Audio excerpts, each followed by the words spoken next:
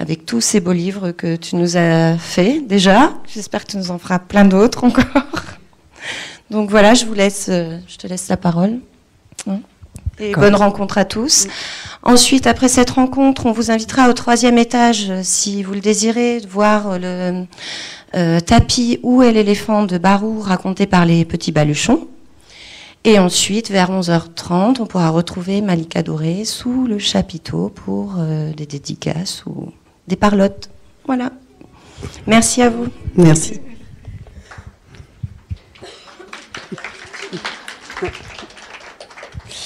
Alors, je vais commencer par dire que je vais pas du tout vous raconter comment lire des livres euh, tout petits, euh, parce que parce que parce que en fait, je n'ai, enfin, pour moi, lire des livres tout petits, c'est comme lire un livre à n'importe qui. Et surtout, je vais vous montrer la façon dont moi je montre mes livres. Je vais vous expliquer comment euh, j'ai été amenée à, faire tel ou tel livre. mais je vais me rasseoir. Hein tout aussi bien. Mais euh, oui, profondément pour moi, euh, un livre, c'est tellement magique, mais quel qu'il soit, pas forcément quand il est ribambelle, quand il, même quand il y a deux pages et qu'on tourne la page, euh, je pense que en soi c'est hyper magique. Donc quand en plus vous qui êtes adulte, vous lisez avec un tout petit en général, même quand il vous connaît pas encore, il a d'emblée une estime dont on se doute pas. Ce qui fait que vous racontez l'histoire, même quand on a l'impression qu'il est à l'autre bout de la pièce et qu'il n'entend pas, euh, il écoute à sa manière, selon l'instant, selon voilà. Mais donc pour moi, il n'y a pas une technique pour euh, pour lire les histoires aux enfants. Et même, je me souviens d'une bibliothécaire à la bibliothèque départementale de l'Ardèche qui m'avait fait rire en disant c'est super tous les, livres tapis qu'on peut faire, tout ça. Mais à un moment, j'ai envie de dire aux parents, euh, vous n'avez pas besoin d'un livre tapis, hein. juste votre voix, le livre, ça suffit. Et à la limite, si vous n'avez pas le livre sous la main, vous pouvez aussi raconter des histoires, ça marche aussi, et on n'a pas besoin d'être un grand comédien. Et pour le coup, je suis pas du tout une grande comédienne. et d'ailleurs, euh, souvent on me dit, mais vous mettez pas le ton quand vous lisez les livres.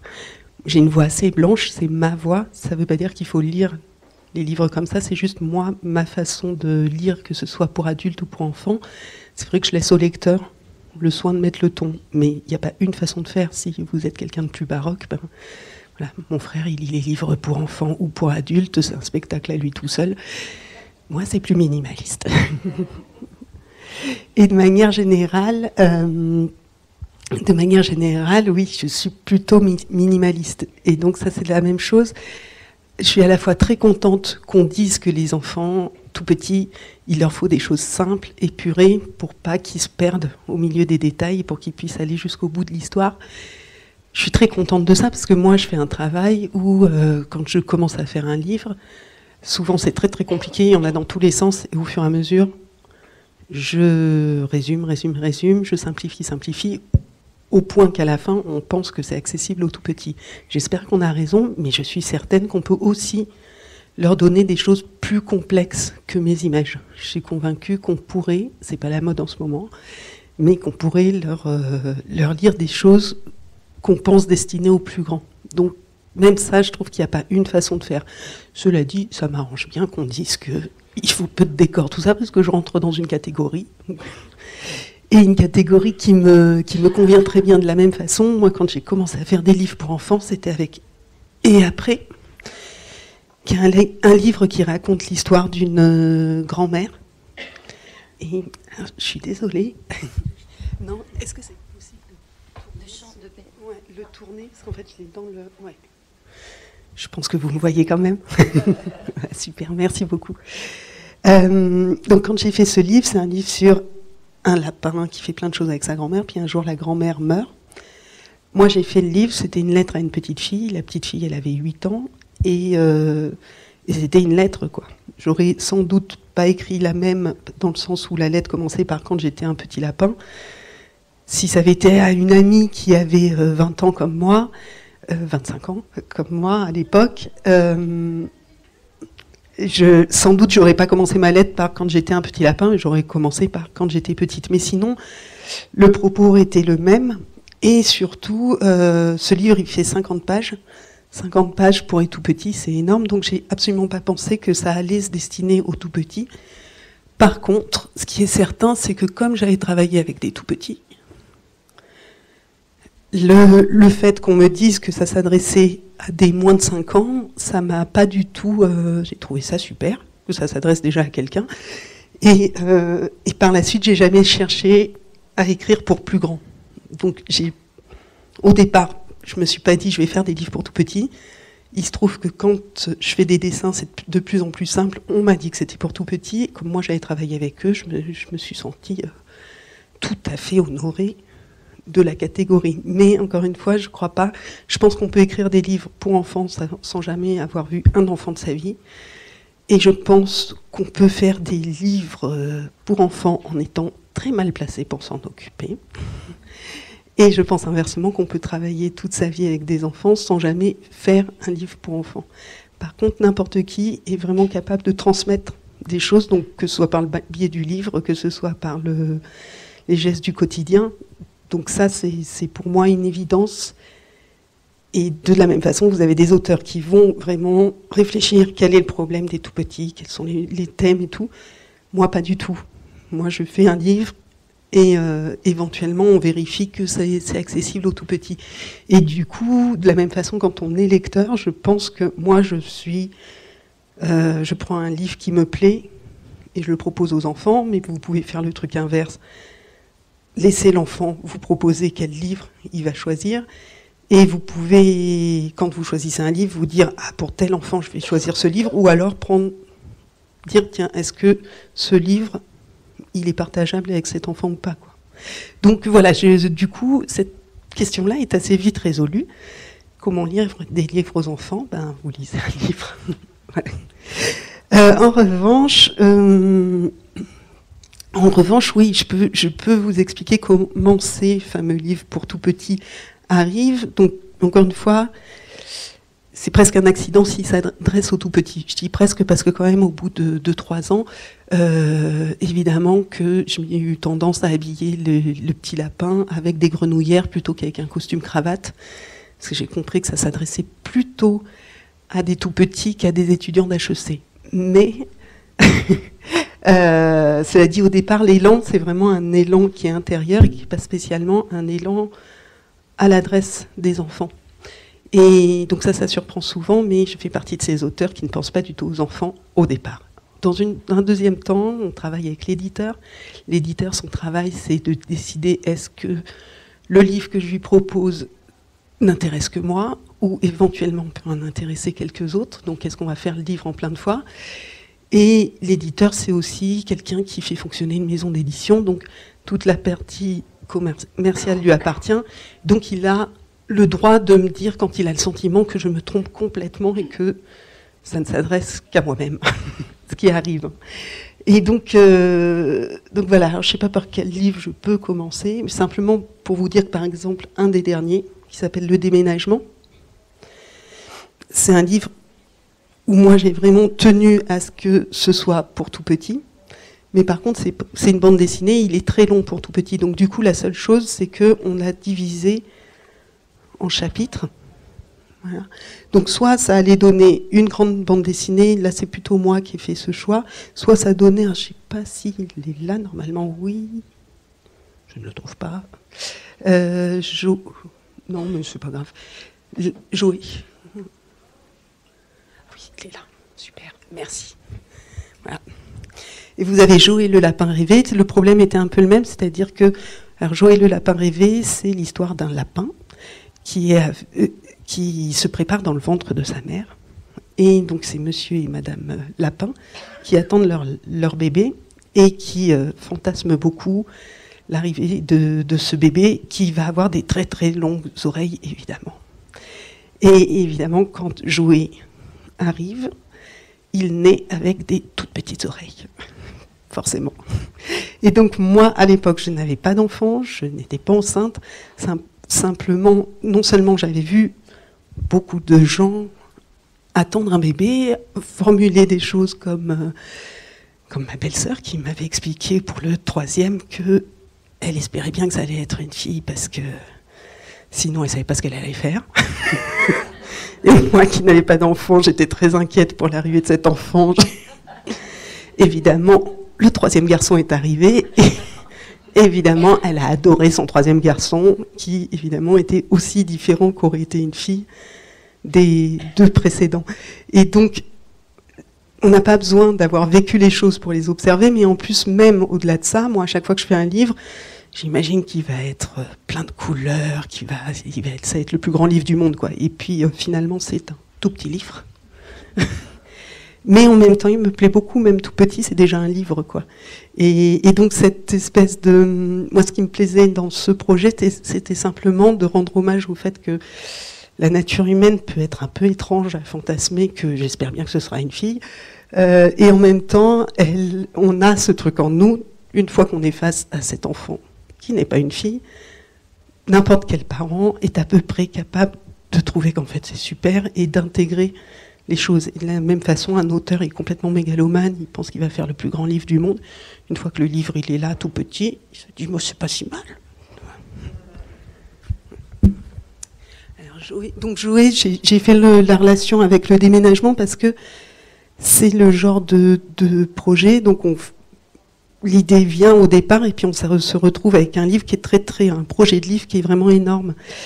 Et du coup, soit on se dit bon, on va l'adresser à des plus grands, mais, à ce moment-là, les éditeurs vous expliquent que votre dessin, euh, il faudrait le compliquer, il faudrait rajouter des détails et tout, et moi, c'est pas mon truc. Euh, soit, soit vous tombez sur un éditeur qui dit bah, sur le fond, en fait, n'importe quel enfant peut comprendre l'histoire, juste ça va être par étapes. Donc du coup, soit ça donne des chapitres, soit ça donne trois petits livres. J'ai essayé de me mettre à l'ombre, sinon je vais finir en maillot de bain.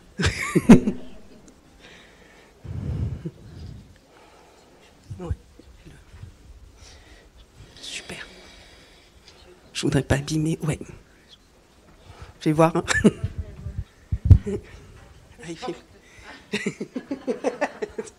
Merci beaucoup. Alors, j'ai commencé par le cinquième. Ouais. En fait, ne me quitte pas, j'ai besoin de. Non, non, c'était une blague. Non, non, je vais essayer la vie sans toi. Momentanément.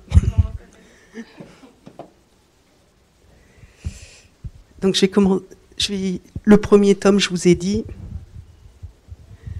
c'est les parents de Joé qui attendent l'arrivée de Joé. Le deuxième tome, en attendant Joé, mieux vaut savoir patienter et s'occuper. Alors c'est petit, mais je vous l'ai fait passer après. Alors pour Joé, Madame et Monsieur Lapin cousent et tricotent encore et toujours les bonnets des bonnets et des pyjamas ailés.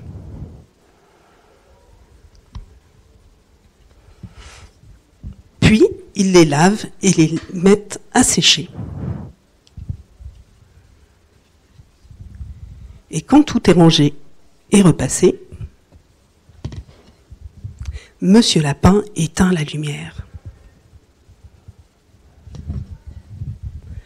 Dans leur lit, Madame et Monsieur Lapin peuvent penser à leur petit Joé.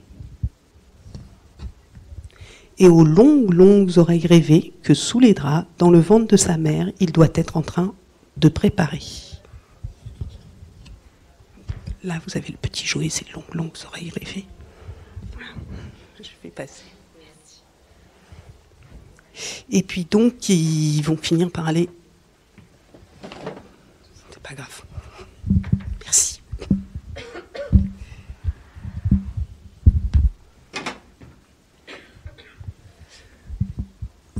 Le tome 3, c'est l'arrivée de Joé. Joé met du temps à arriver. C'est parce qu'il nous prépare de longues, longues oreilles rêvées.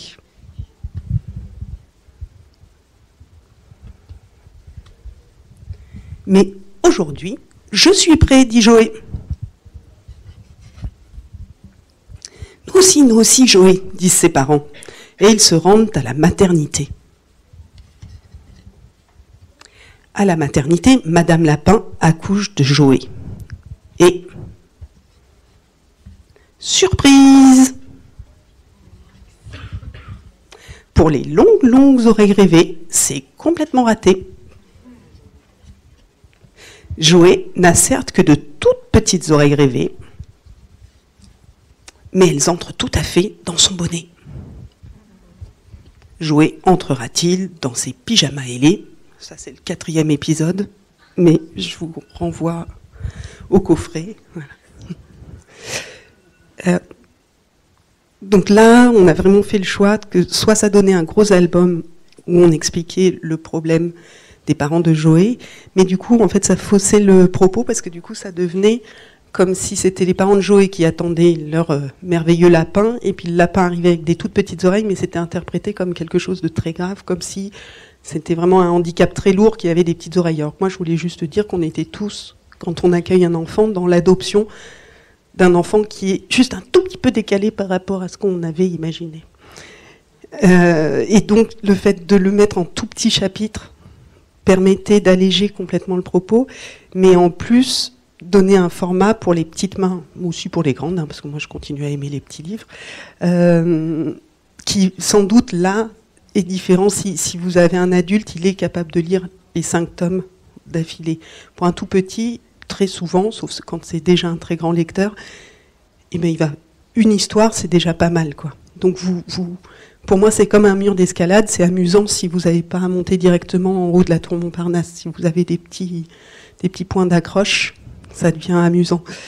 Euh, et en même temps, je crois que quand même, une des chances qu'on a en France, c'est d'avoir des livres aussi diversifiés, y compris pour tout petit, où on ne leur offre pas que des livres qui comprennent tout du premier coup. Et donc très souvent, en tout cas au début, j'ai été confrontée au fait que les éditeurs me disaient mais euh, ça c'est quelque chose qu'ils peuvent pas comprendre. Et moi je disais mais on passe notre vie à pas comprendre. Simplement, si on nous, nous montre pas les choses, il n'y a aucune chance qu'on les comprenne jamais quoi. Après c'est un espèce d'équilibre entre j'offre euh, que des choses incompréhensibles et là effectivement j'avais quand j'ai commencé à travailler avec Grégoire Solotarev qui est avant tout auteur et illustrateur mais qui dirige la collection, bah, notamment des petits coffrets, donc Loulou et compagnie, qui est à l'école des loisirs, donc c'est tous les cartonnés en général que j'ai fait. Et lui me disait, mais si tu ne dis que des choses qu'on ne comprend pas, euh, le tout petit, ça l'exclut. C'est comme nous, effectivement, quand on tombe sur, euh, sur une conférence euh, qui vole un petit peu au-dessus de nos capacités, mais effectivement, c'est pas, c'est pas, c'est pas gratifiant et en plus, oui, c'est presque, presque humiliant. Alors, quand on est un adulte, on est suffisamment solide normalement pour se dire c'est juste que c'est pas mon, truc et tout. Un tout petit, me disait Grégoire, c'est quelque chose finalement assez qui l'exclut, quoi. Donc ça, j'ai été capable de l'entendre et donc maintenant c'est une espèce de dosage où de temps en temps il y a une page qui est incompréhensible, je pense, pour un tout petit, euh, mais qui est de l'ordre pour moi de, du petit mystère qui fait qu'on a envie aussi de grandir et d'aller un peu plus loin. Quoi. Et donc moi, je fais pareil. Quand je dessine, j'écoute la radio et j'écoute France Culture. Et de temps en temps, je comprends un truc. Le reste est un grand mystère. Mais je pense que les tout petits, leur vie est, peuplée de moments de grands mystères. Oui, je pense qu'on leur paraît quand même très bizarre, on fait des tas de choses, on est des magiciens, quoi. Et de temps en temps, ils arrivent à prendre un truc, et, donc euh, le mystère n'est pas que excluant, il est aussi assez attirant. Et donc ces coffrets, en fait, il y en avait eu un premier.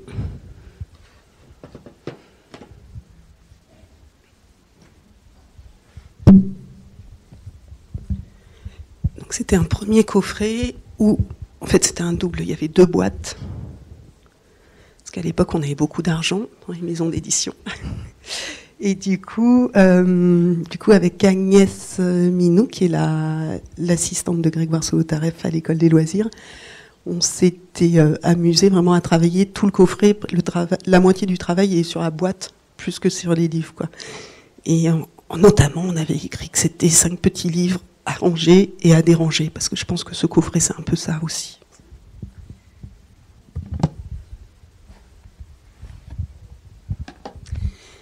Et dans ce coffret, alors je vais faire un très grand détour, ça marchera mieux comme ça. euh, j'ai fait un très grand détour par les Ribompelles, qui était le premier livre qu'on a fait donc dans cette collection, Loulou et compagnie à l'école des loisirs. Donc c'est un livre qui dit sous un pyjama de lapin. Sous ton pyjama lapin, il y a une couche, et puis la peau, et puis les os. Et à nouveau la peau et un slip propre. Et tes habits. Et dans mes bras, il y a toi. Et sous un pyjama de lapine, c'est pareil, ou presque.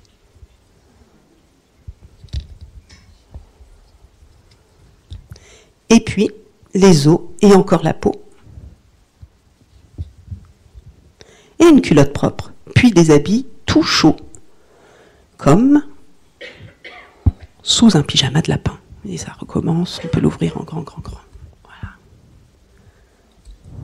Et donc ce livre, j'étais allée voir donc euh, la collection des livres en carton à l'école des loisirs parce que euh, moi j'aime un livre, euh, c'est un tout pour moi. Il y a l'histoire, il y a les images, mais il y a aussi la matière dans laquelle il est fait.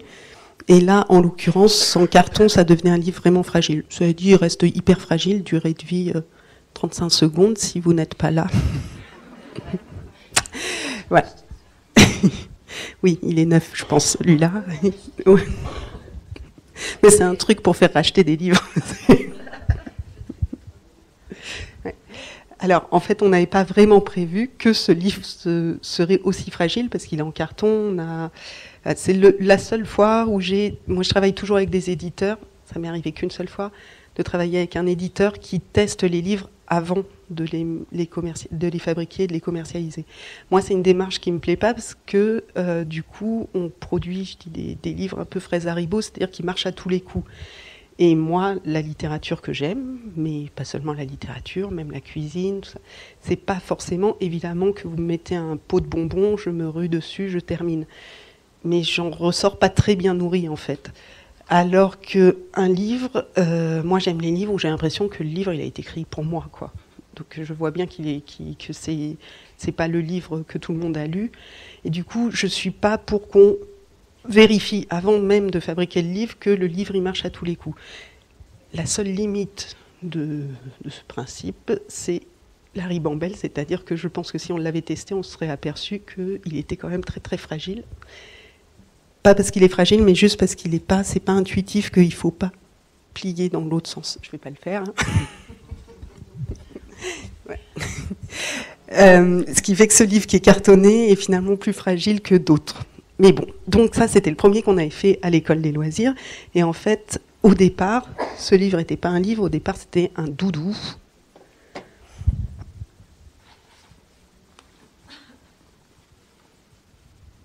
Donc c'était un doudou qui dort.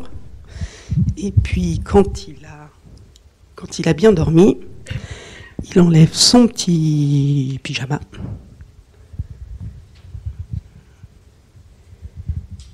Et il se réveille. Sans micro, c'est plus facile. Et donc quand on le retourne. Et donc ce doudou, si on en avait eu plusieurs, ce qui a été le cas,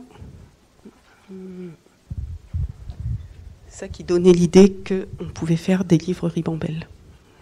Donc c'est exactement le même format. Les, pages, les, mains sont juste un petit peu plus longues, un peu plus épaisses. Et donc quand, quand j'ai eu cette idée formidable de livre ribambelle se casse au bout de 35 secondes, euh, je suis allée voir donc Grégoire Solotareff avec les petites maquettes. Donc les petites maquettes, je vais vous les faire passer. Donc elles sont toutes petites. Euh, vous inquiétez pas s'il y a une page, une page qui vous reste dans les mains. Euh, c'est parce que c'est des maquettes, donc c'est fragile. Je rescotcherai, il n'y a pas de problème. Donc vous ne paniquez pas. C'est pas. et donc, je vous les fais passer. Donc vous aviez sous un pyjama de lapin. Vous aviez coucou chat dodo croco. Et donc coucou chat, euh, c'était au début coucou lapin. Et puis euh, là, en l'occurrence, donc c'est pas toujours le cas, mais là en l'occurrence, l'éditeur a dit, c'était le premier que j'ai proposé, m'a dit super, on, peut le faire. Par contre, des lapins, t'en as déjà fait beaucoup, Malika. Donc euh, peut-être si c'était pas un lapin, ce serait beaucoup mieux. J'ai rajouté des petites moustaches. J'ai dit, il n'y a plus de problème, c'est un chat. Donc vous verrez. c'était le début de mon escroquerie. Euh, et donc vous verrez, il y a des tas de petites retouches comme ça qui sont. Donc les maquettes, c'est ce qui permet de discuter avec l'éditeur. Moi, les, discussions avec les éditeurs, j'adore ça.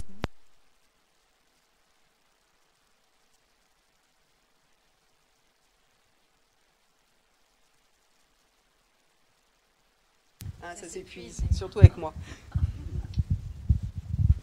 Donc, merci beaucoup. Euh, et donc, euh, oui, les discussions avec les éditeurs, c'est souvent c'est sur des, détails comme ça, et puis il y a des discussions un peu plus fondamentales sur euh, sur là en fait au départ, par exemple, c'est au cours de ce premier livre que l'histoire de, de si tu ne mets pas, là c'était il n'y avait pas de parole en fait sur ces maquettes au départ. Et donc Grégoire m'a dit, oui, alors là, c'est pas pour les enfants, les enfants, ils vont comprendre l'histoire, même sans parole. Par contre, l'adulte, tu le perds complètement. Et c'est l'histoire du mur d'escalade est venue de cette discussion où, euh, en gros, il me disait, bon, ça, tu dis que c'est un livre, je te crois. Mais euh, pour le pauvre adulte qui va se retrouver à devoir accompagner la lecture de l'enfant, euh, tu lui donnes pas des billes pour qu'il soit un peu rassuré sur la façon dont, dont on le manipule. Donc, si on met des écritures, c'est parfois moins pour l'enfant que pour que l'adulte puisse accompagner l'enfant. Et effectivement, à partir de ce moment-là, j'ai compris qu'un livre, euh, pour tout petit, c'est pas que pour le tout petit, c'est pour le couple que forme l'adulte et le tout petit ou les tout petits. Ah, moi, j'ai tendance à penser, en termes de lecture individuelle. Ça arrive que ce soit des groupes un peu plus, un peu moins restreints que le tête-à-tête adulte-enfant, mais en tout cas de, donner, euh, des, billes euh, à l'adulte, c'est finalement quelque chose que j'ai complètement intégré dans mon travail et je, maintenant je pense vraiment au couple en fait. Donc du coup, c'est sur les maquettes que les paroles ont été rajoutées et travaillées. Et les maquettes, elles permettent vraiment l'aller-retour entre l'auteur et l'éditeur, sans, en tout cas pour l'auteur et illustratrice comme moi, qui n'aime pas refaire 12 fois les mêmes choses en grand format en y ayant passé des jours. Donc les maquettes, elles permettent d'aller très vite. Et parmi les... Donc il y a eu trois ribambelles qui ont été faites, mais moi j'en avais pas proposé une quatrième qui disait on peut jouer. Donc euh, là vous voyez carrément rien, parce que celle que je vous ai montrée avant, il y a un peu de marqueur en fait, c'est les troisièmes versions, celles qui sont en train de circuler. Là, c'était une première version, donc c'est au crayon à papier de manière encore plus légère, encore plus rapide. Et ça disait on peut jouer au cochon pendu, au loup,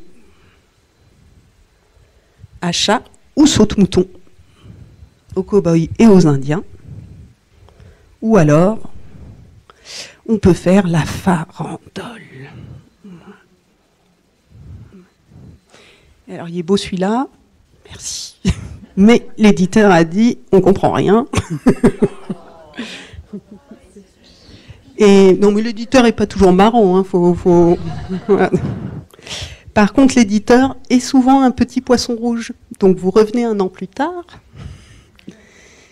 et vous lui dites j'ai une super idée. Cette nuit, ça m'est venu. Un truc génial. Ça s'appelle Près du Grand Érable. Donc, j'ai changé le titre au cas où le poisson rouge ait eu quelques souvenirs. Et, j'ai fait un grand texte. On peut jouer au loup, au cochon pendu, à chat perché ou à saute-mouton. Et sinon, pour s'amuser, à quoi peut-on jouer? On peut faire la farandole. Et cette fois, l'éditeur a dit génial. On le fait à un million d'exemplaires.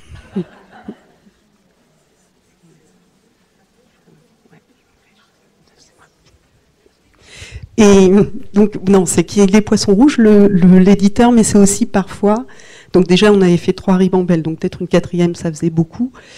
Euh, mais surtout, peut-être que le format joue. Et puis là, c'est un livre au milieu de cinq petits livres. Donc, du coup, c'est le petit coffret que je vous ai montré tout à l'heure.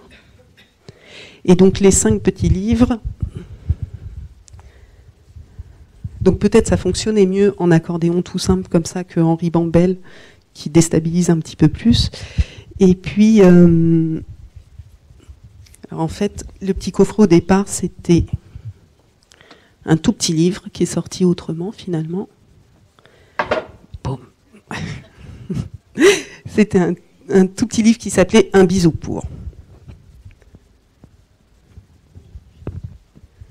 donc il y en a peut-être qui le connaissent, mais en grand format.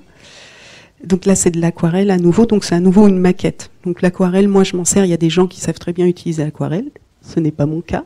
Par contre, je sais très bien l'utiliser de manière rapide, où ça déborde un petit peu, et souvent c'est assez charmant, les maquettes que ça donne.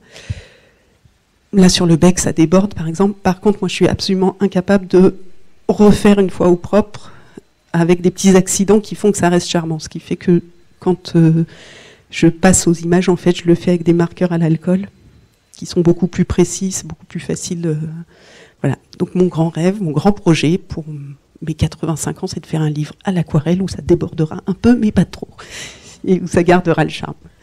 Et donc c'était un bisou pour. Un bisou pour la fourmi. Un, béco pour le mulot. Deux bises pour le renard. Et un baiser pour le grand cerf.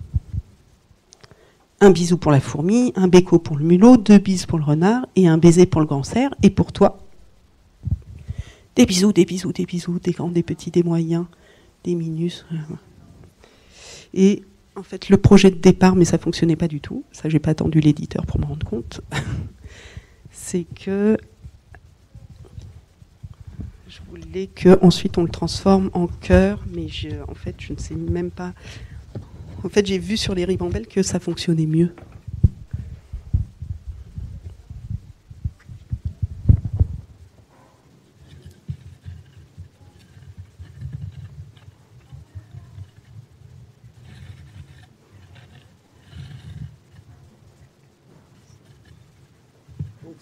loin, vous vous lever. Parce que si je remonte, ça ne marche plus.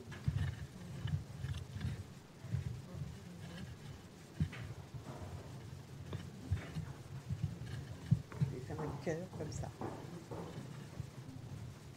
Je ne sais pas si tout le monde voit, mais donc avec la ribambelle, ça fonctionnait pas trop mal. On arrivait à peu près à un cœur. Et en fait, on y arrivait, mais parce que les, jointures sont souples. Donc ça, ça fait partie des expériences où à mi-chemin, on s'aperçoit que ça ne fonctionne pas. mais par contre, j'avais proposé sans qu'on le trans... Ça fonctionne pas, mais par contre, on en a fait un autre où ça fonctionnait très bien en poisson. Donc c'était une toute autre histoire, mais ça se transformait.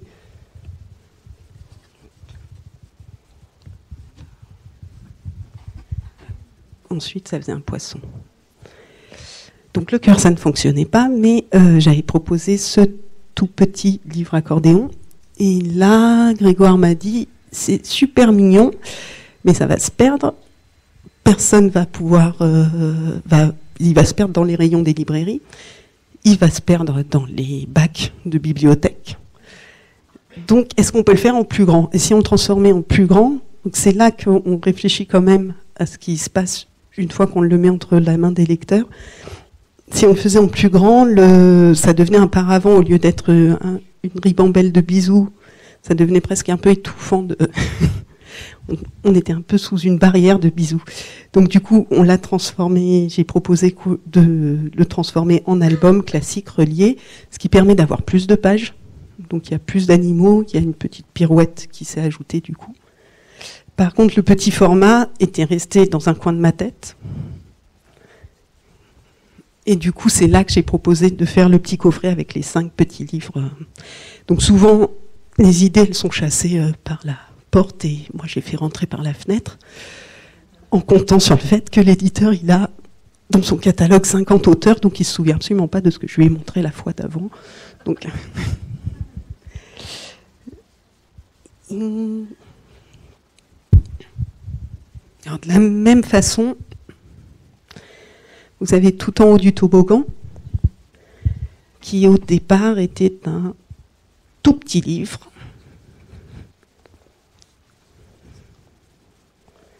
que j'ai perdu. ouais, il est là. Alors, donc il s'appelle le toboggan.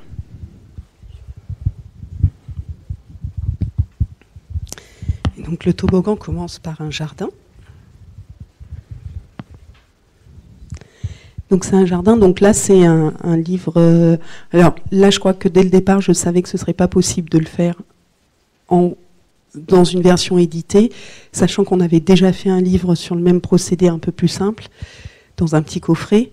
Et donc, dès le départ, euh, c'était là, c'était pas une maquette, c'était un livre en un seul exemplaire. Donc, euh, c'est de l'aquarelle, mais plus soigné que quand c'est les maquettes, juste pour faire comprendre son idée. Donc, il y a de l'aquarelle, il y a aussi du collage. Alors ça, se décolle et euh, j'hésite à le recoller parce que c'est assez pratique pour montrer aux enfants que c'est pas une photo de dessin, c'est un vrai dessin. Et puis dans le jardin, dans le jardin, il y avait l'éléphanto et le lapin. Donc le lapin, il est en relief. Donc c'est un pop-up, mais c'est un pop-up encore très simple vous pouvez avoir des, pop-up très complexes avec de la colle, c'est presque un travail d'ingénieur. D'ailleurs, on, parle d'ingénieur papier. Moi, c'est pas de l'ingénierie. Hein. Moi, c'est juste une feuille de papier que j'ai pliée, découpée. Après, il faut juste calculer que ça déborde pas, mais donc on reste dans des techniques hyper simples. Donc il y a l'éléphanto qui trouve que c'est trop haut, le lapin qui lui dit non, non, non, viens. Il y a le renard qui a peur d'être en retard. Et le petit rat qui est tout en bas. Et le petit rat,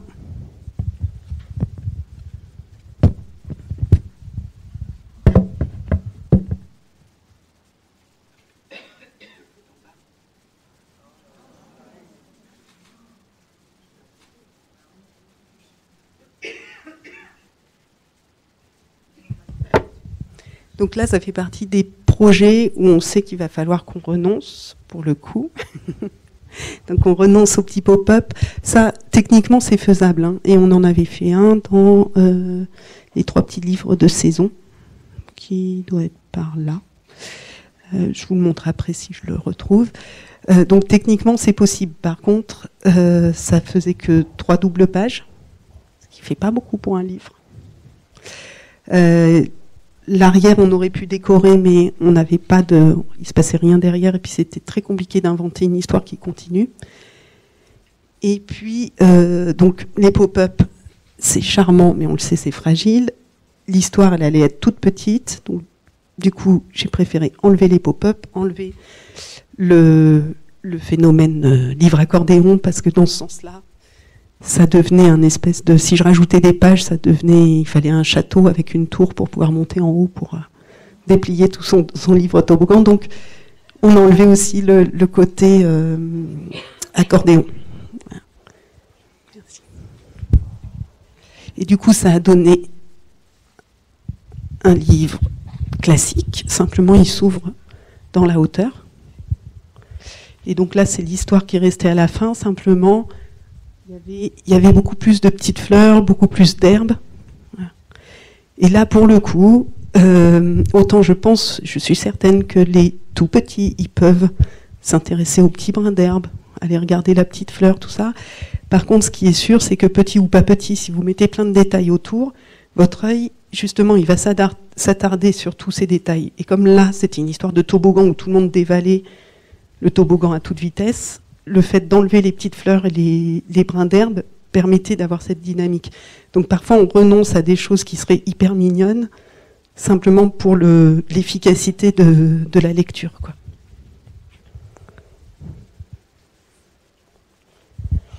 Et du coup, ça a donné tout en haut du toboggan. Vous verrez, par exemple, on a enlevé aussi, euh, il y avait un panda Et une chauve-souris, c'est simplement que, de manière générale, quand euh, on arrive à la fin du projet, on regarde avec l'éditeur toujours, euh, est-ce qu'il n'y a pas des pages en trop? Est-ce qu'on peut réduire un petit peu pour condenser le propos? Ça, c'est vraiment juste l'idée que je pense vous constatez tous les jours, que les tout petits comprennent tout, juste il faut que ce soit assez resserré dans le temps, parce que sinon on les perd, ils n'arrivent pas au bout du roman s'il y a 18 pages. C'est trop, dit l'éléphanteau. C'est parti, dit la fourmi. On y va, dit le chat. Rattrape-moi, dit le rat. À deux, c'est mieux, disent les macareux. Et c'est plus facile, disent les crocodiles. On sort de la feuille, dit l'écureuil. On n'est plus là, dit le koala.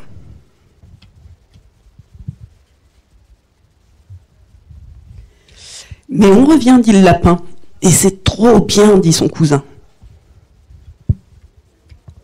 Et en bas, dit le koala. Qui nous attend demande l'éléphant. Les parents, bravo mon éléphanto, c'est bon de vous retrouver nos préférés, vous êtes les plus forts, les trésors. Ah, donc le fait d'abandonner le, livre accordéon, ça permettait de mettre plus de pages et de laisser un peu la place aux parents à l'arrivée du toboggan. Et quand, je dis que pour moi, là évidemment que c'est un, thème plutôt pour tout petit que pour, euh, pour adolescents. Cela dit, il y a beaucoup d'adolescents, voire d'adultes, qui vont dans les toboggans aquatiques l'été. Et surtout, pour moi, le toboggan, enfin, quand vous faites un livre, vous faites le livre, et ce n'est que après que vous comprenez pourquoi vous êtes allé jusqu'au bout du livre. Euh, et, moi, ce livre qui est un de ceux que j'aime beaucoup, euh, c'est juste qu'à le lire, il y a une espèce de... Ce livre, c'est rare que je lise mes livres sauf en public. Mais celui-là, il fait partie des livres qui sont agréables à lire parce qu'il y a une espèce de. C'est un livre qui fait du bien, je pense, pour beaucoup de gens, mais simplement parce que c'est comme la vie, c'est-à-dire que voilà, être sur une estrade, vous parler, tout ça est un tout petit peu stressant. Euh, heureusement, il fait chaud, tout ça, donc ça, ça permet de d'accuser la chaleur, mais en fait, c'est juste que c'est une situation à la fois excitante et en même temps stressante. Quoi. Et c'est comme un toboggan, c'est-à-dire qu'il faut se lancer et que si vous vous lancez en vous disant qu'à l'arrivée on n'est pas là pour vous jeter des tomates, ça va beaucoup mieux et même en tant qu'éléphanto, on finit par se lancer dans le, dans le toboggan. Hum. Et qu'est-ce que je peux vous... Oui, le doudou.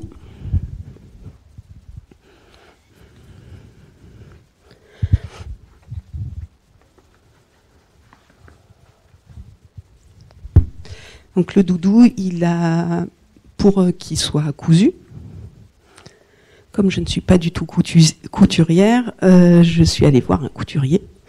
Et donc j'ai fait des dessins pour qu'il comprenne comment coudre le doudou. Et donc du coup, j'ai fait de manière un peu euh, obsessionnelle pendant des mois des dessins de doudou. Et ensuite, donc là, c'était le doudou du lapin. Donc le, pour faire le manteau, j'ai juste collé des tissus. Le reste, c'est de l'encre de Chine et de, la gouache. Donc, c'est la peinture qu'on utilise quand on fait dans des grands pots avec les enfants. Et donc, j'ai fait plein de doudous qu'ensuite j'ai accrochés tous ensemble. vous avez le renard, vous avez les oiseaux. Et puis, tout à la fin, on peut l'ouvrir en grand accordéon.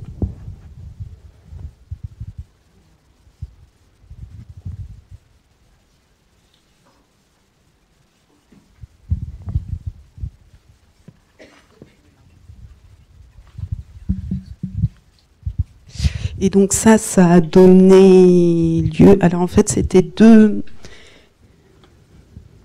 Il y avait d'une part cette expérience de grand livre accordéon, il y avait d'autre part une autre expérience de tout petit livre au contraire. Alors ce tout petit livre, il dit Bonne nuit lapin. Bonne nuit les souris. Et puis bonne nuit la lune.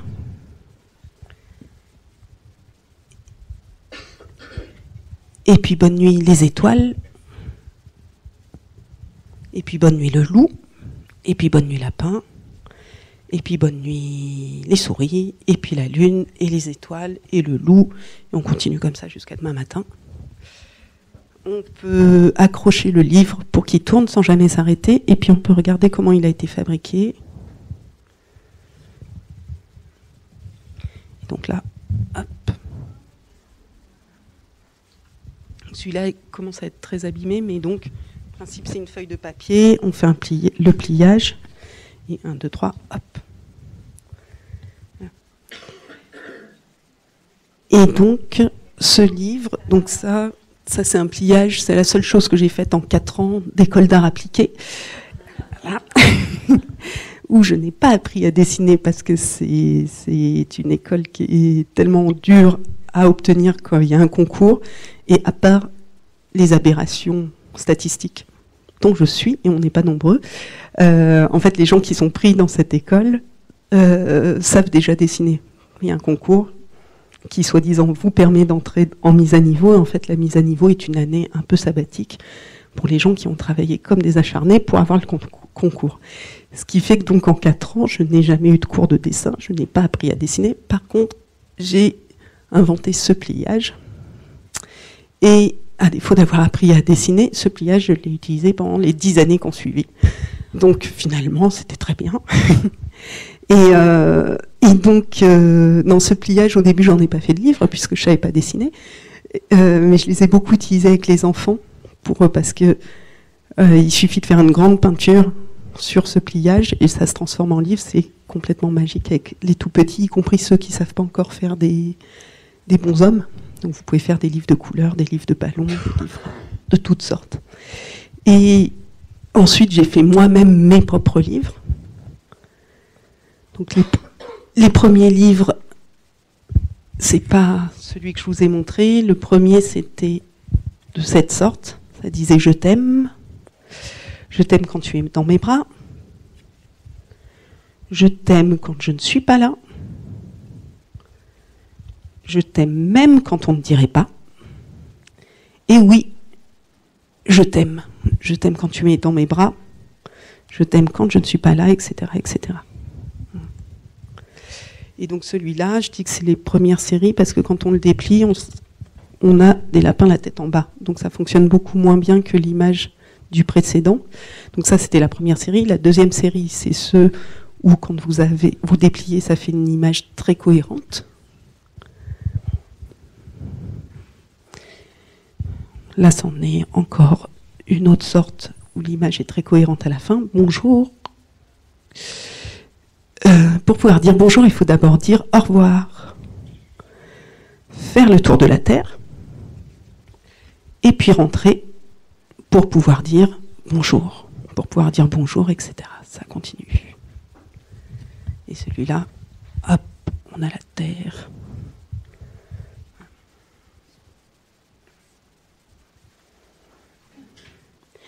Et, donc ça, il y en a eu beaucoup, beaucoup, parce que là, c'est ceux qui ont été édités. Donc les tout petits, c'était en supplément du magazine Poppy, il y a plus de dix ans. Euh, et puis, parce que c'est des livres très très faciles à faire en une fois à la main, euh, assez facile à faire sur son imprimante d'ordinateur même à l'époque, mais à l'époque c'était même des photocopies que je faisais. Et euh, par contre c'était beaucoup plus compliqué de trouver les machines pour les fabriquer en plus que 10 exemplaires. Quoi. Donc Poppy avait trouvé, et puis ensuite Memo a fini par trouver, et donc il y en a eu plusieurs. Donc ils sont dans un petit coffret. Vous en avez plusieurs, mais en plus vous avez, vous en avez quatre, et puis vous avez un petit mode d'emploi pour euh, apprendre à faire le pliage et faire ses propres livres. Et puis donc vous avez les quatre petits livres. Il y en a un qui s'appelle La ronde des lapins. La ronde des lapins, c'est un lapin, plus un lapin, plus un lapin. C'est la ronde des lapins. je me dis que je suis vraiment auteur, quoi. Et donc la ronde des lapins, on fait une étoile, mais ça peut aussi être en grand format, la ronde. Et donc quand on les a édité chez Memo. On a mis de l'autre côté la version noir et blanc, et c'est un format A3, donc c'est un format photocopiable, pour euh, pouvoir refaire ces, ces petits livres à l'infini. Et puis le dernier des livres à lire sans fin, c'était celui-ci.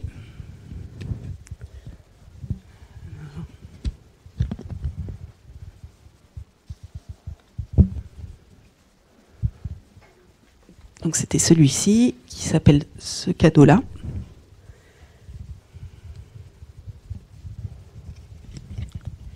Ce cadeau-là est pour les libellules. Cette comète est pour la lune.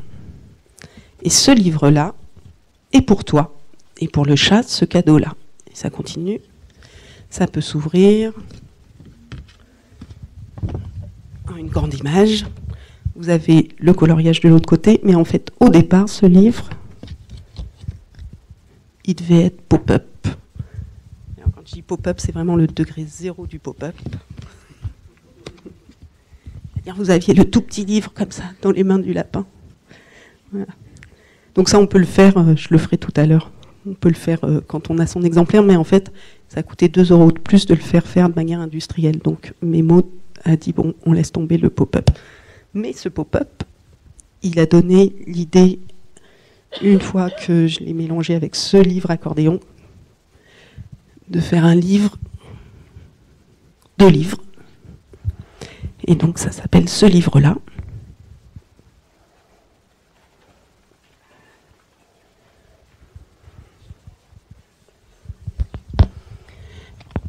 Donc ce livre-là, c'est un livre pour les grands, ou bien un livre pour les petits, ou bien un livre pour partager, ou bien un livre pour chanter, ou bien un livre pour pleurer. C'est tellement bon parfois. Un livre pour avoir peur.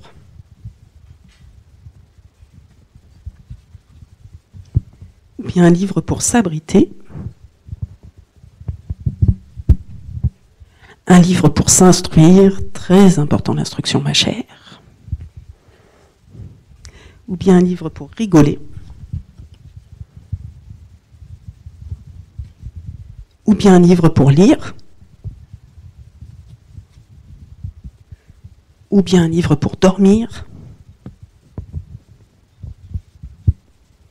Ou bien un livre pour toi. Et ce livre-là,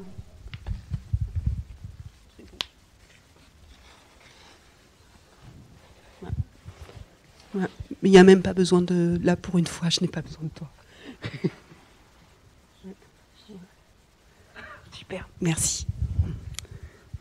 Donc celui-là, euh, celui-là en fait, il est assez ergonomique, c'est-à-dire que vraiment on le tire et il s'ouvre euh, en grand, grand, grand. Euh, peut-être avec la moquette, c'était pas mal que tu m'aides quand même. ouais. et donc ce livre-là, contrairement à la ribambelle, n'est pas très fragile parce que ça se voit, y compris les tout petits, ils sont, euh, ils, voient bien que c'est un, livre qu'on manipule pas euh, euh, de manière trop robuste, quoi. Mais ce que j'adore, moi, c'est que donc les tout petits vont appuyer sur les pop-up, mais de manière finalement assez délicate. Et l'expérience, c'est que ce livre est finalement beaucoup moins abîmé qu'un livre de ribambelle en carton, qui est un peu plus traître. Parce que le livre en carton, il donne l'impression qu'il est solide. Celui-là, c'est assez même touchant de voir les tout petits de un an qui, je vous dis pas qu'il est jamais abîmé, mais franchement, ben voilà, on est bientôt au mois de décembre, je l'ai montré je ne sais pas combien de fois dans les classes et euh, dans des crèches aussi. Et en fait, il, reste très, très très peu abîmé. Et donc ce livre, quand je l'ai proposé, je l'ai plutôt proposé aux éditions Mémo, qui sont C'était à l'époque une maison d'édition qui commençait à faire des livres pour la jeunesse euh, et qui travaillait sur un. Il venait du, livre des plutôt des livres de belles images, de beaux arts. Et donc ils avaient des très très beaux papiers. Et moi, ce qui m'a plu, c'est de proposer des livres pour tout petits dans ce très très beau papier. Alors celui-là, en l'occurrence, on n'a pas pu garder le même papier que ceux qu'ils avaient. Leur très beau papier, c'est celui que vous allez avoir dans le déménagement, Quand l'écran se fâche. C'est un papier qui est, on appelle ça bouffant, c'est-à-dire qu'il absorbe beaucoup l'encre. Et il a une matière qui n'est pas du tout lisse, qui est, vraiment du beau papier, comme le papier aquarelle qu'on peut utiliser. Mais, donc là, l'idée, c'était de proposer au tout petit un livre qui soit fragile, et parce que dans, dans la fragilité d'un livre, vous avez aussi une sensualité que vous n'avez pas retrouvée dans le cartonné. Donc, le livre cartonné, moi, je, trouve ça super. C'est une grande invention parce que ça permet de se détendre un peu quand on, fait des lectures au tout petit et de ne pas trembler à chaque lecture. Cela dit, je trouve aussi très important de leur proposer des livres un peu plus fragiles, un peu, plus, euh, oui, sensuels que les cartonnés. Et donc, ce, je regarde. Et donc le, livre de Doudou, il a donné ce livre-là. Et les livres de Doudou, il y en a eu plusieurs. Ça, c'était aussi un des premiers.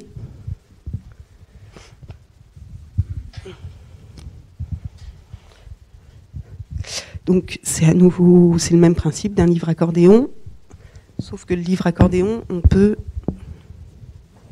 Là, je vais poser le micro. Hein.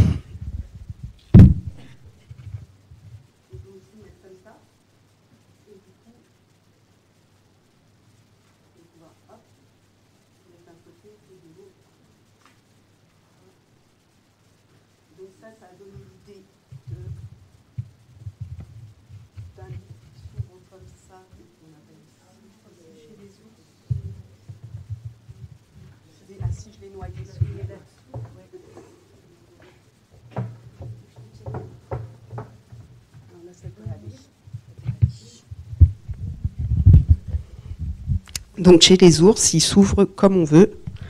Et quel que soit l'endroit où on ouvre, les phrases se combinent, les morceaux de phrases se combinent. Donc ça a donné chez les ours, chez les valseurs, ou chez les enfants d'éléphants. Mais ça peut donner aussi le loup boude chez les enfants d'éléphants où les crocodiles fuient.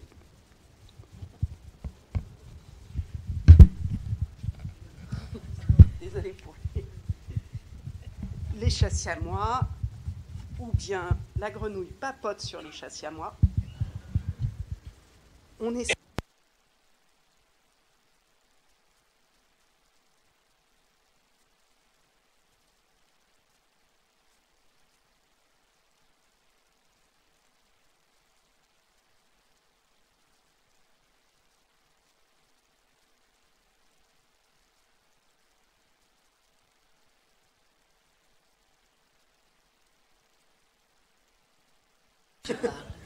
Ah non, ça.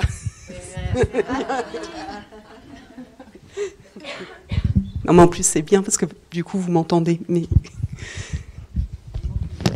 Oui, il me manque une main. Et donc, ça, c'est la version plus compliquée. Alors.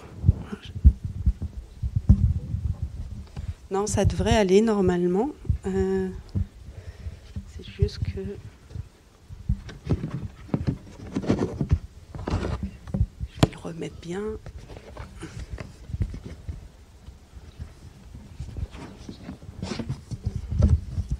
Et puis je vais ranger.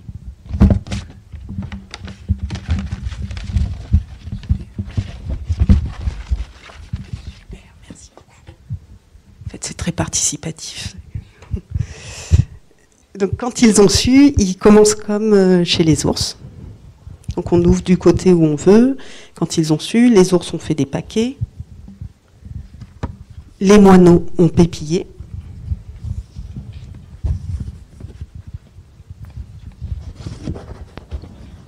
Tous les mulots, ou presque, ont voulu voir. Les caïmans ont grommelé. Les crocodiles ont rangé leurs dents. Je passe quelques pages.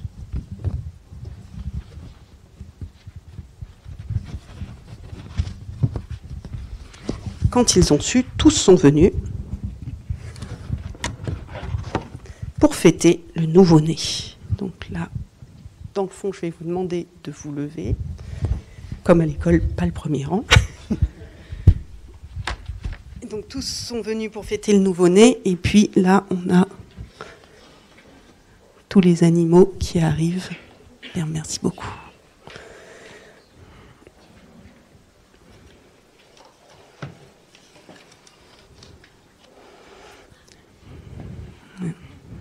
Et puis, et puis, et puis, en fait, si on continue, alors il faut un château. Hein, pour, euh, en fait, ce livre, il a été fait pour les. Euh, tous les ans, le, département du Val-de-Marne propose aux bébés qui naissent dans le département un livre de naissance. Donc, ils offrent aux bébés. Il y a, euh, je crois que c'est 24 000 naissances dans le Val-de-Marne. Donc, du coup, ça permet de proposer. Donc, il y a un appel d'offres et ça permet de proposer des projets qui sortent un petit peu de l'ordinaire parce que ce livre, euh, je l'ai proposé à Grégoire, Solotaref à l'école des loisirs, qui m'a dit qu'il comprenait rien. Et donc, euh, du coup, ça a donné.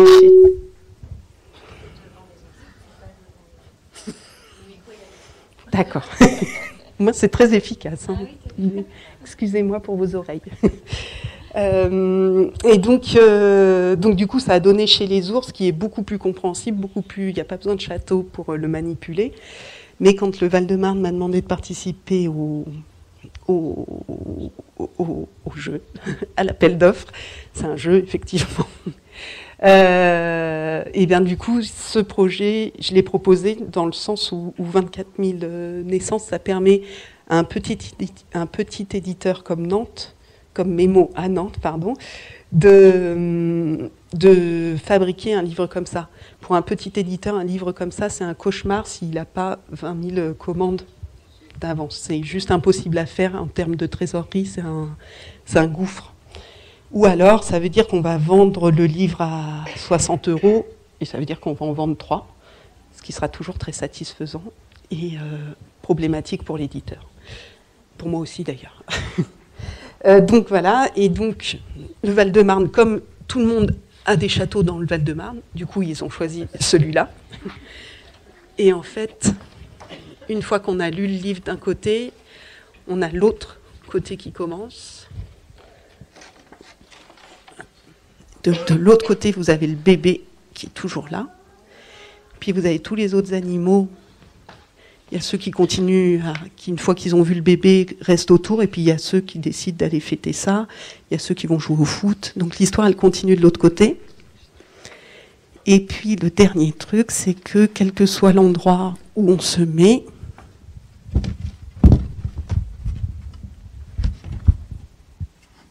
quand vous faites euh, une maison ou un jardin, une barrière, quel que soit l'endroit où vous allez relier les choses, elles vont fonctionner. Voilà. Voilà. Oui, oui, oui. Hein. Quel boulot Vous avez peut-être des questions.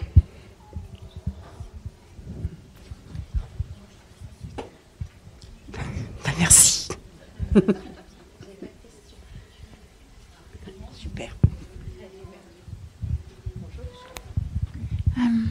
Je voulais savoir comment vous, arrivez à ces histoires. Si vous commencez par les dessins, par, euh, j'ai vu qu'il y avait un, petit travail de rime. comment vous travaillez? Euh... euh je, ça, dépend vraiment. Euh, le plus souvent, je ne sais pas. dans, le cas, dans les cas que je vous ai montrés, j'ai tendance à choisir de montrer les choses où je pars de la forme, parce que je trouve ça plus facile à expliquer, plus facile à, démontrer que, euh, par exemple, vous faites une ribambelle, vous allez, vous allez jouer a priori sur les contraires, par exemple. Donc d'un côté le, lapin, de l'autre côté la lapine, ou c'est pareil ou presque.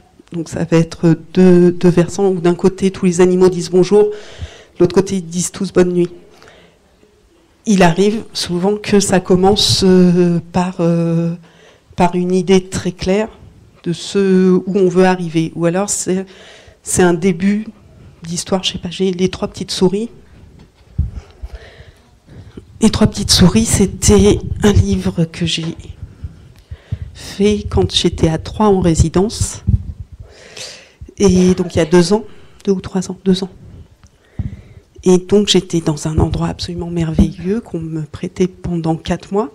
Donc moi je suis parisienne. J'étais jeune maman, enfin vieille maman mais jeune. et évidemment j'adore ma fille, évidemment j'adore mon amoureux, mais évidemment elle avait six ans je crois, évidemment ça faisait six ans que je ne prenais pas tellement de temps pour moi. Et donc je me suis dit, euh, ça va être du temps pour ne faire que ce que j'ai envie, pas forcément faire un livre au bout. Voilà. Et donc j'arrive dans cet endroit qui est vraiment merveilleux et qui est un vrai rêve euh, quand on est parisien, qu'on compte le nombre de mètres carrés. Là c'est immense, au milieu d'un jardin qui est immense et tout près du centre-ville. Euh, on y a en trois minutes, on est dans le centre-ville de Troyes. Et le premier soir, au moment où je me faisais ma petite verveine, je fumais beaucoup à l'époque, donc mon petit paquet de cigarettes, ma petite verveine, tout allait bien. Et là, j'entends un boucan, mais euh, c'était rien ça. Hein. Et donc c'était le voisin qui était photographe qui le soir faisait du bruit avec ses amis pour faire de la musique. Et il faisait vraiment comme moi, c'est-à-dire que c'était très expérimental. Donc c'était comme si j'avais une palette sonore, donc ça faisait des bruits plus que de la musique. Et donc, euh, je, j'étais vraiment là pour me détendre. Et donc, donc, je me suis retrouvée vraiment dans ma tête la, vraie euh, Marie-Antoinette dans sa bergerie, quoi. Comment il y a des gens qui vivent? Donc je me suis dit que soit je me transformais en Marie-Antoinette, soit je transformais ses voisins en crocodiles qui font du bruit. Donc ça, vous verrez, c'est dans le petit carnet. Alors comme j'avais du temps, j'ai pris le temps de dessiner les crocodiles et le bâtiment qui ressemble tout à fait au bâtiment de, ce voisin. Euh, d'habitude, évidemment, je prends pas ce temps-là. Et j'oublie même que, que l'histoire vient de là. Et puis finalement, les crocodiles sont devenus trois petites souris. Et ça a donné, il était trois petites souris qui ne voulaient pas aller au lit. Nous voulons jouer. Moi du banjo, dit l'aîné. Moi de la trompette, dit sa Et moi du tambour, dit le cadet. Mais quelle bonne idée, disent les, parents enthousiasmés. Ouvrons grand les fenêtres pour que tout le monde puisse en profiter. les enfants commencèrent au bal masqué, oh et oh et boum boum, Père et mère étaient très fiers.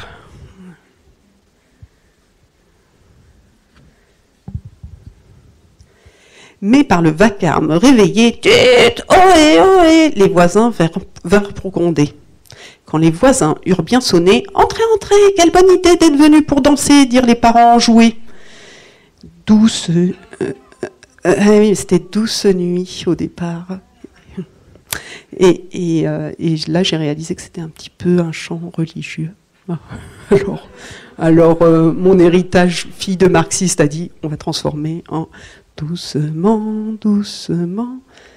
Boum, boum, tchi Et tout le monde dansa et la fête redoubla. Tut Tout le quartier fut réveillé. La ville entière se mit à danser. Ohé, ohé Tut Au bal masqué, des guirlandes, on installa les lampions. Euh, lampions. On alluma. On ouvrit la piscine municipale. On organisa un carnaval. Ohé, ohé Et le lendemain matin, Il était trois petites souris qui ne voulaient plus quitter leur lit.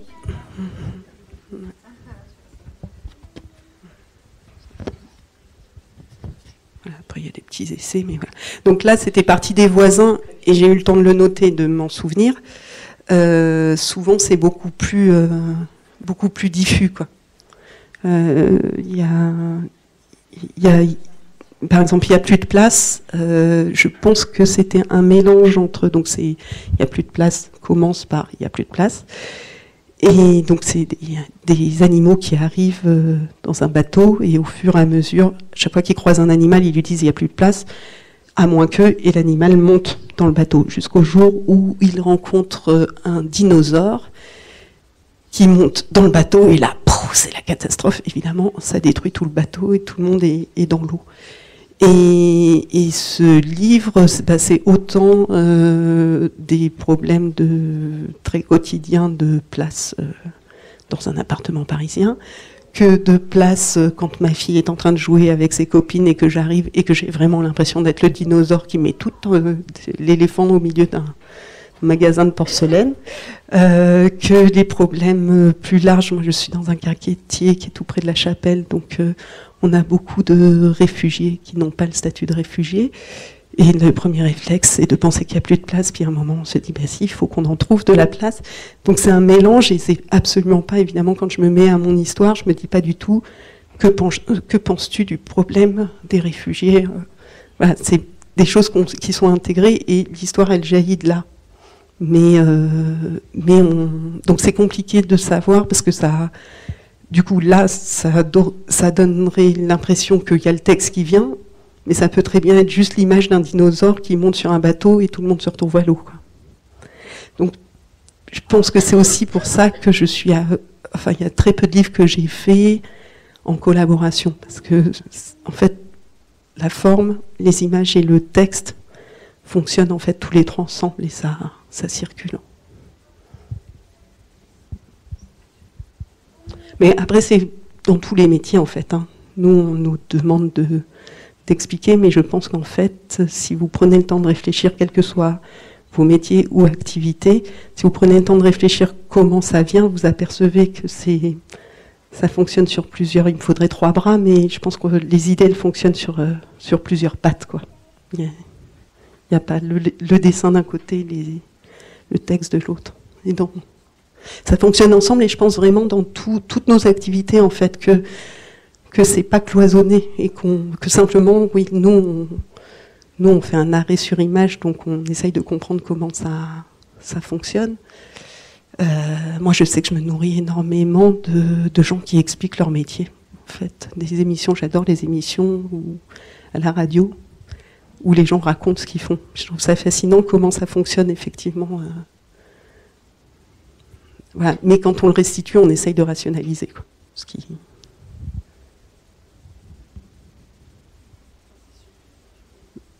D'autres questions?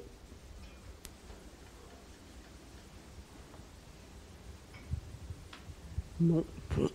Ben, il me reste à vous remercier, à vous demander de m'excuser pour euh, les légers larcins. Et à remercier aussi toutes mes assistantes, mes quadruples bras.